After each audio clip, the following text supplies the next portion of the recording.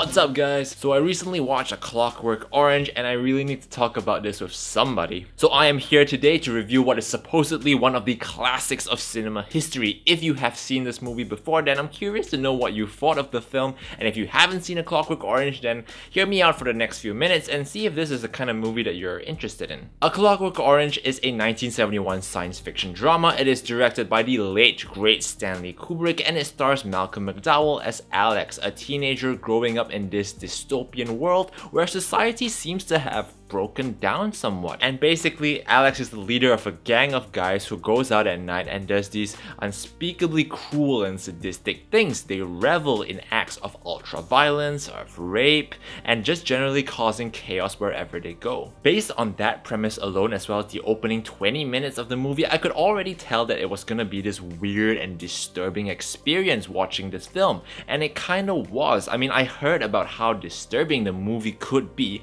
but I didn't really understand understand it until I actually watched the full movie. A Clockwork Orange was nominated for 4 Oscars at the Academy Awards, but it has made and will make a lot of people uncomfortable. The imagery alone has made and will make a lot of people angry and disgusted, and when the movie came out in 1971, it was extremely controversial. Stanley Kubrick and his wife faced multiple death threats, the movie inspired a small number of actual crimes in real life, and eventually it had to be pulled from circulation in the UK. So we establish that the film has a few unsavory elements and when we meet the main character at the start of the film, he is essentially a villain. So I was surprised at how completely enthralled I was at the end of the movie. I think A Clockwork Orange is one of those very rare films that comes out and comes close to being its own type of demented masterpiece. Will I watch the movie ever again? Probably not, but the surreal visual style, the social commentary it makes on society and mental health, as well as the very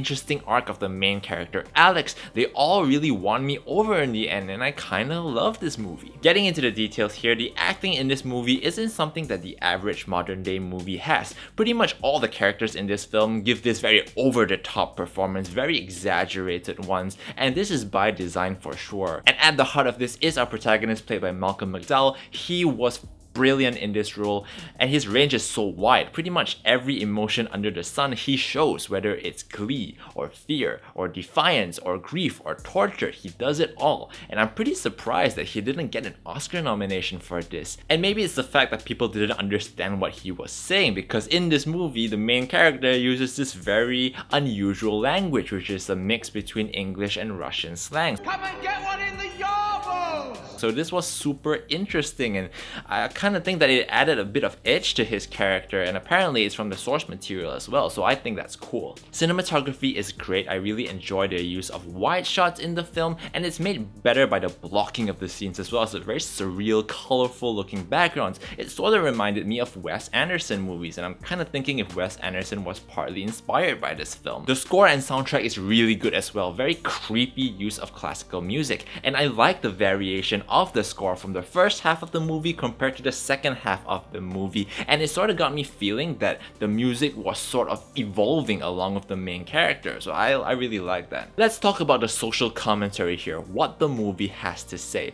Now I've only seen the movie once but to me a clear theme is the human condition and the idea that a person's environment has a huge impact on their behaviors, their actions and their perceptions. I mean you could say that our protagonist is a messed up person, but he's grown up in a messed up world and he's been conditioned by that world to be the way that he is. Now this branches off into a whole nother conversation about free will, whether it exists and the morality of giving people choice.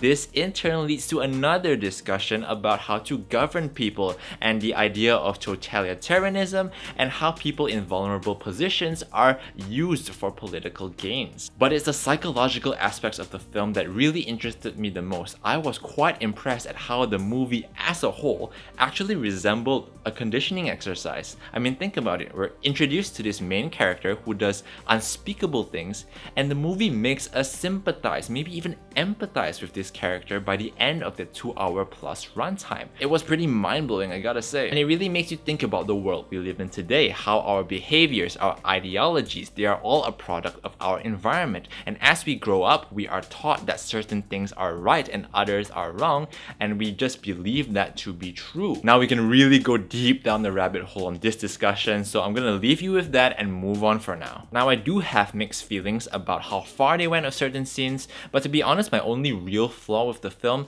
is that the audio is a bit unclear, even though I read that the filmmakers pioneered this new radio mic technology from Dolby with noise reduction that was supposed to improve the quality of the movie, but I didn't really hear any of that. But oh well. If you have the stomach for certain disturbing scenes and you have an open mind to this movie as a message of relevance, then I think you will enjoy this movie and you should probably check it out. It's easy for me to understand why some people hate this movie to the core, but others think it is a masterpiece. This movie made me reflect on myself, on the people around me, as well as society. And it's rare for a movie to provoke thought in that manner and to do it in such a profound and shocking way. Stanley Kubrick is definitely one of the boldest directors in Hollywood history. He chose to go where few mainstream movies have ever gone before. And 50 years, almost 50 years after the release of A Clockwork Orange, the message he sent with that movie is still incredibly powerful and that is why I am going to give A Clockwork Orange an 8.5 out of 10. Guys, thank you so much for watching this video. If you like it, subscribe below and share it on all your social media platforms. I really appreciate that. What is the most disturbing movie you have seen? Tell me in the comments below. I really like to know. I'll be back next time with another movie review for you guys. So until next time, have a great week ahead, maximum hype, and peace out.